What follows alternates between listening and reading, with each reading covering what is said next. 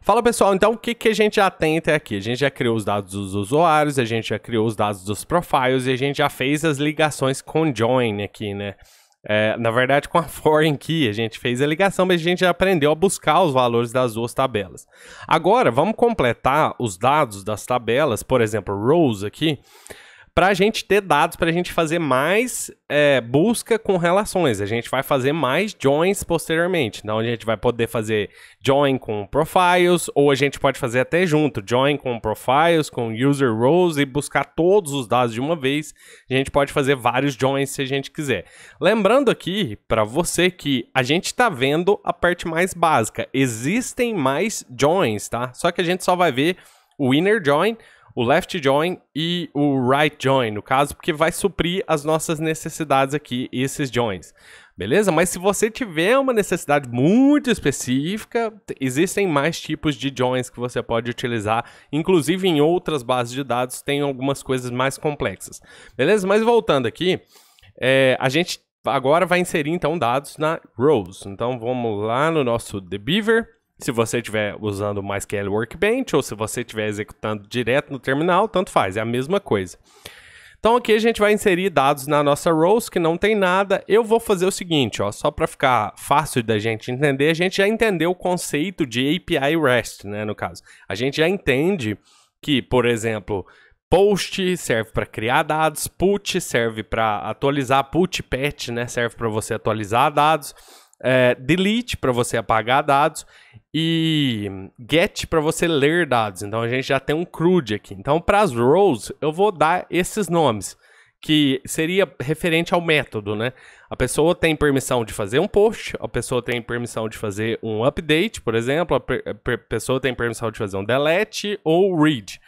Só que eu vou colocar os nomes: é, post, put, delete e get. Então vamos lá, insert into rows qual, quais são os campos, né? Os campos vão ser, deixa eu ver aqui. Nossa, a gente só tem name aqui, olha que maravilha dessa tabela. Facinho. Então, values, vou colocar embaixo, values, e a gente pode colocar os valores que a gente quer. Então, o que, que eu te falei que eu queria? Eu quero post, eu vou colocar mais aqui já de uma vez, então vou colocar post, put, é, delete e get. Então, post, put, delete e get. O que, que eu quero dizer com isso, se você não conseguiu compreender? Eu quero dizer que o usuário que tiver a role post pode criar coisas na minha API, por exemplo. O usuário que tiver a permissão put pode atualizar coisas. O usuário que tiver a permissão delete pode deletar coisas e o usuário que tiver a permissão get pode é, ler coisas, né?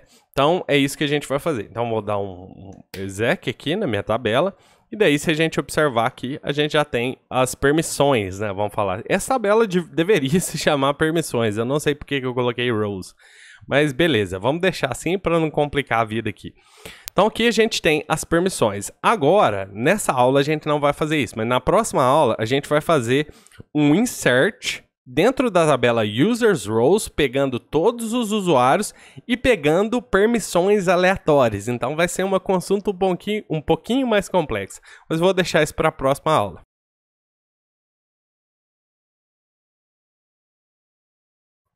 Beleza, então agora a gente já tem dados de users, roles e profiles. Só que agora a gente tem que fazer essa ligação, né? A gente tem que pegar dados de usuários, jogar dentro de roles, mas automaticamente junto com o usuário também tem que pegar uma role qualquer e dar também para o usuário aqui em users roles. Então eu tenho que fazer duas consultas, mais ou menos, para eu fazer um insert nessa tabela aqui. Tem que saber quem que é o usuário e qual que é a role que ele vai ter aqui no caso, né? Então, se eu fosse fazer isso, deixa eu voltar aqui, ó, eu não salvei isso aqui, ó, deixa eu salvar isso aqui, a gente já volta. Beleza, pessoal, já salvei aqui, eu pausei aqui para você não ver isso, eu salvei isso aqui lá para o nosso GitHub. Beleza, não feito aqui, isso aqui a gente vai fazer o seguinte, ó. A gente precisa de um usuário para a gente inserir lá na nossa tabela rows. Então, se eu fosse inserir esses dados, eu pegaria aqui, ó. Se eu fosse inserir no meu programa, geralmente eu já vou ter o, o, o perfil do usuário que eu estou manipulando. Então pega esse ID aqui 512, Ferries. Eu viria aqui na minha, no meu script e vamos ver um ID de uma role. Vamos colocar put para o Ferries aqui. Então, deixa eu só selecionar os dois campos, para a gente saber. Eu quero colocar a permissão put para o usuário Ferries, que é o 518. Então, insert into users roles. Quais são os campos? Vamos ver aqui. Ó, é, created at, no caso aqui, ele é automático e updated at também é automático. Então a gente não precisa necessariamente enviar esses campos. A gente pode, mas não, não precisa. Então eu quero só o role ID. Eu vou colocar primeiro o user ID e depois o role ID. Então ficou nessa ordem aqui. Se eu fosse inserir os, va os valores que eu quero, manualmente, né? Isso aqui manualmente. Então, o que, que eu iria fazer? Eu iria vir aqui, pegar o ID do Ferris, que é 518. E eu viria aqui na role, pegar o ID da role, que é 4. E aí eu executaria esse valor aqui. Então, se a gente olhar agora em Users Roles, vou dar um F5 aqui, você vê que eu já tenho as relações aqui. Isso aqui, 518, 518 e 4 é a primary key disso aqui. Então, se eu fosse selecionar, eu teria que selecionar... Eu, eu posso selecionar só um campo, tipo assim, select from users roles. Select o campo, né? Eu esqueci. Select user ID e role ID from users roles. Where.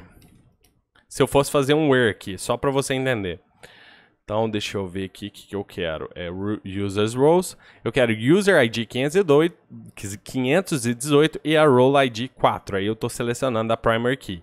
Where User ID igual a 518 e a Role ID igual a 4. E aí, selecionando, eu tenho o dado que eu quero, que é isso aqui que eu queria. Beleza? Eu também posso, se eu quiser, usar só um valor, se eu quiser. Só que, se você quiser ser específico e selecionar um registro, você vai ter que mandar os dois valores aqui. Beleza? Porque pode ser que o usuário é, 518 aqui, que eu esqueci o nome dele, pode ser que ele tenha mais de uma permissão. Então, por exemplo, se você quiser manipular os dados corretos em um campo só, você vai ter que mandar os dois valores aqui como primary key. E aí, executando, o que, que eu fiz aqui, que eu não sei... Beleza. E aí, executando, a gente tem um valor. Eu não sei que, por que, que ele está aparecendo isso aqui. Eu vou dar não aqui, eu não sei o que, que é isso, não. Beleza, então a gente já entendeu isso, né? Agora, é, eu quero fazer o seguinte. Eu quero inserir automaticamente todos os usuários dentro da tabela Users Roles. E eu não tenho como fazer isso simplesmente pegando os usuários e jogando aqui, porque eu preciso de uma role. Eu não consigo inserir, deixa eu te mostrar aqui, eu não conseguiria inserir um dado aqui se eu não mandasse o user role, o, a, o ID da role. Se eu executar isso aqui, ó, vou dar um não aqui, ele dá, ó, é, você precisa mandar um valor para o role ID, senão não forma a primary key. Beleza? Então a gente precisa desse valor aqui. Então isso deixa a nossa consulta um pouquinho mais complexa, porque o que, que eu quero fazer? Deixa eu te mostrar com o select, e aí depois a gente passa para o insert. Então eu quero fazer assim, ó, select é, de users. Eu quero selecionar o ID from users. A gente já viu isso aqui, né? Isso é mais simples. Por que, que ele está aparecendo isso aqui, gente? Ah, vou, eu, vou, eu vou continuar tocando só colocando não ali. Depois eu olho o que, que é isso. Beleza, então eu consigo selecionar só o ID de users. A gente já sabe fazer isso, é a coisa mais simples do mundo. Só que a gente já viu que se eu quiser fazer um select aqui, ó, nesse local aqui, ó, se eu, se eu, a gente já viu isso, né? Mas só para você entender, se eu quiser fazer assim, ó, select 1, ele faz um select em 1. Simplesmente simples assim. Então a gente já entendeu isso, né? Eu posso fazer isso aqui se eu quiser. Se eu quiser criar uma coluna aqui, eu posso colocar aqui, ó, vou colocar entre parênteses para não dar conflito, e eu vou colocar um select 1 aqui. E aí, se eu executar isso aqui, ó, você vai ver que eu tenho o meu ID de usuário e eu tenho o meu select 1 aqui. Se eu quisesse dar um alias para isso, as qualquer coisa. Vou colocar um qualquer aqui só para não colocar aspas. E aí, executando, a gente vê que a minha coluna qualquer foi criada aqui dinamicamente, beleza? Então, eu posso fazer esse tipo de select. Então, o que, que eu quero fazer? Eu quero selecionar todo mundo de, de users. E aqui eu quero selecionar de forma randômica, de forma aleatória, uma row qualquer. Então, eu vou pegar qualquer uma aqui e aí eu vou fazer essa seleção e aí ele vai jogar uma. E aí lembrando aqui, isso aqui tem que retornar só um valor, tá? Eu não consigo fazer esse select retornando vários valores numa consulta aqui, porque isso pode dar um erro. Deixa eu te mostrar aqui qual que é o erro que vai dar. Se eu, se eu quiser colocar aqui agora uma row, eu faria o seguinte, eu vou te mostrar primeiro o erro, depois eu vou corrigir. Então vou descer aqui um pouquinho, Vou descer esse campo aqui também, só para ficar mais legível aqui. Eu vou quebrar umas linhas aqui. E daí eu vou falar assim, ó. É, select ID também, só um campo, né, que é o ID que eu quero, from rows. E aí se eu executar isso aqui, ó, você vê que a, a minha subquery, que é essa query que está dentro aqui, é uma subquery, ela está retornando mais de, uma, de um valor. Então, eu não posso fazer isso. Então, o que eu posso fazer? Eu posso dar um limit 1 aqui. Beleza? Executando, ó. Agora você vê que todos os usuários pegaram o valor que foi retornado por essa subquery aqui, essa subconsulta. Agora eu quero fazer isso ser aleatório. Eu quero que ele pegue aleatoriamente os IDs das rows aqui. Então ele vai pegar 3, 5, 4, 6, qualquer valor de forma aleatória. Eu posso também falar um order by aqui, antes do limit, a gente já viu isso, hand. Beleza? E esse order by hand, lembra que a gente viu a função hand? Hand gera um valor aleatório, mas aqui no order by hand, ele vai selecionar um campo aleatoriamente de dentro da tabela rows. Então, executando, você vê que agora eu tenho 6, 4, 6, 6, 5, ele está fazendo isso de forma aleatória. Então, é esse tipo de, de, de consulta que eu quero fazer um insert select que a gente já viu. Beleza? É só um select, mas dentro desse select eu faço um outro select buscando uma row qualquer para que eu coloque os dados no usuário. Então, para eu fazer esse insert select, eu faria assim, ó. deixa eu quebrar mais linha, insert, aí lembra que a gente já viu o insert select, né? Então, insert into users rows. Aí agora eu vou colocar os campos, que é eu quero user ID, lembrando que isso tem que estar tá na ordem, aqui já está na ordem, ó, select ID from users, e aí eu tenho uma subquery aqui que está retornando uma uma row aleatoriamente. Então, estou insert into users, e aí no segundo campo aqui dessa consulta, ela vai me retornar o role ID. Então, role ID. E aí, eu não vou colocar velhos aqui, porque eu vou fazer um insert select. Então, aqui, eu vou colocar esse meu select aqui. Então, essa consulta direta aqui é basicamente isso. Insere na tabela Users Roles, nos, nas colunas User ID e Role ID, o que essa, esse retorno desse select fiz, retornar para mim. Esse retorno é basicamente isso aqui que a gente está vendo aqui embaixo. Então, executando isso aqui, ele vai executar, ó, inseriu 98 rows, né, 98 linhas na coluna, uh, na tabela users rows, e se a gente olhar aqui, a gente tem os dados, ó. A gente tem todos os usuários, lembrando que um deles já tem duas, já tinha uma permissão aqui, né, que seria o, eu não lembro qual que a gente colocou, foi esse aqui, 518. Então, se a gente olhar, o 518 tem duas permissões. Isso caracteriza a relação de muitos para muitos. Lembra? Eu tenho do, um, um, usuário aqui relacionado com dois registros da tabela Users Rows. Por isso que a gente tem uma relação de muitos para muitos aqui. Então, voltando aqui, ó, é, se a gente observar esse usuário, é o Ferris, se eu não me engano, esqueci o nome dele, ele tem duas permissões, que é a 4 e a 6. Então aqui é a put e get aqui no caso. Ele pode atualizar valores e ele pode ler valores. Beleza? Lembrando que isso aqui são dados fictícios que a gente está criando, então é só para a gente entender as consultas. SQL, eu não, não sei se a gente vai utilizar isso num programa real, mas é só para você entender as relações que a gente fez. Então agora, para finalizar, a gente já tem dados de users, a gente tem dados em users rows, a gente pode adicionar mais uma vez, vou voltar aqui, ó, meu debeaver, se eu executar mais uma vez, como essa é uma relação de muitos para muitos, muitos usuários agora vão passar a ter muitas permissões. Lembra disso, né? Aqui, ó, ele tentou inserir, olha que interessante, ele tentou inserir um valor que já existia na minha primary key, que seria o 536 e o 3. Então agora eu posso ter esses, esses erros aleatórios aqui, ó.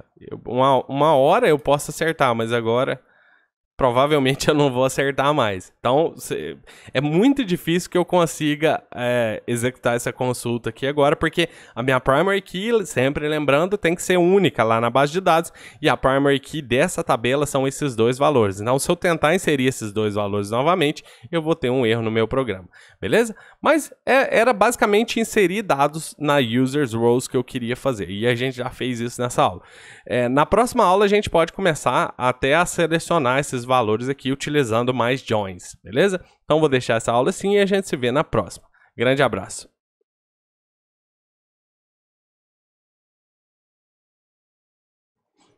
Agora, pessoal, voltando aqui na tabela Users Rows, você lembra que a gente ficou com um errinho, né, quando a gente tentava executar a consulta aqui, por causa do seguinte, é, a nossa primary key tem que ser única, né? Então a gente precisa fazer alguma coisa para isso, para que isso seja único. Eu quero ter mais de um usuário com mais de uma permissão para a gente poder ver isso aqui. Então vou fazer umas consultas aleatórias aqui. E aí, para a gente não ter aquele erro, eu vou falar o seguinte: eu vou falar para o SQL ignorar qualquer erro que ocorrer na consulta. Então vou falar assim, ó, insert somente ignore e aí ele vai ignorar os erros que, que ocorrerem na consulta. Só que eu não vou executar isso aqui ainda, porque eu quero fazer isso aleatoriamente. Não, eu vou falar o seguinte, na consulta aqui do select, lembrando que essa consulta aqui, ó, fora dos parênteses, é essa aqui, tá? Então eu estou selecionando o ID dos usuários, para cada ID eu estou selecionando uma role aleatória, e eu vou falar para ele aqui, ó, que eu quero order by hand, e ele vai ordenar os usuários de forma aleatória e eu vou dar um limite aqui, porque eu não quero ter todos os usuários com a mesma quantidade de permissão. Então eu vou falar limite, limite 50, por exemplo, e vou mandar ele executar a minha consulta. Aí ele executando, ele executou, ele adicionou 42 registros na tabela de users roles aqui, no caso, e você vê que eu pedi 50, então quer dizer que 8 registros deram erro aqui nessa consulta. Beleza? Só que ele ignorou os erros pra gente. Beleza, então a gente já tem agora alguns usuários com mais de uma permissão. Agora eu vou fazer mais uma vez, só que eu vou pedir uns 20 usuários. Beleza? Vou executar mais uma vez. Mesma coisa. E agora eu vou fazer com 5 usuários, porque 5 desses usuários vão ter as todas as permissões, né? 4 permissões no caso. Então executando. Quer dizer, pode ser, pode ser que tenham, né? 3 usuários tem todas as permissões. E muitos deles não têm todas, né? Muitos deles têm uma só ou, ou vice-versa. Beleza? Então a gente fez agora já essa tabela users roles aqui, porque lembra que eu te falei a relação de muitos para muitos, então muitos usuários têm muitas permissões. Beleza? Então vou deixar essa aula aqui assim e a gente se vê na próxima. Grande abraço.